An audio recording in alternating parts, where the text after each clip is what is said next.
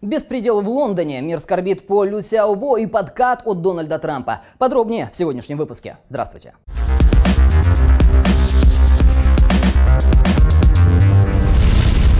Человек попали в больницу с химическими ожогами. На востоке Лондона орудовала банда подростков. Они без разбора в течение полутора часов колесили по городу, обливали прохожих и работников магазинов кислотой. Первой жертвой стал 32-летний мопедист. Парни догнали его и прыснули в лицо едким веществом. Когда он упал, один из нападавших отобрал его мопед.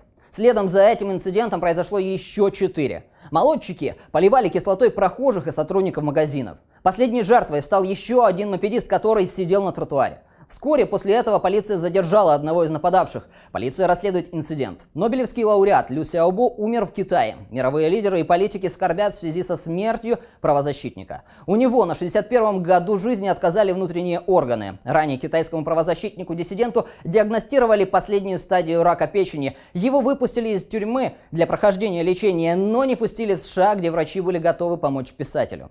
Власти Китая просят не создавать иллюзии о том, что это они убрали оппозиционера и обещали предоставить полную информацию о том, что с ним произошло. Напомню, в 2010 году Лё Сяобо присудили Нобелевскую премию мира за длительную, ненасильственную борьбу за фундаментальные права человека в Китае. Награда вызвала негативную реакцию китайских властей. Лю Сяобо так и не позволили забрать премию, а его жену поместили под домашний арест. Трамп подкатил к жене президента Франции Бриджит Макрон.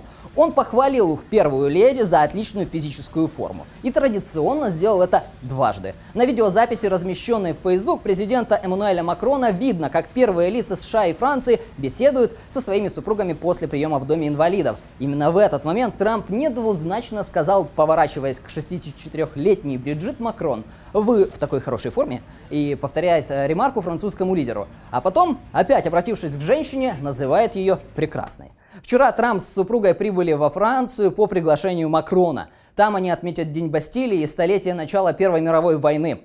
Во время встречи они обсудили ситуацию на Украине, Сирии, КНДР, Ливии, а также ряд других вопросов.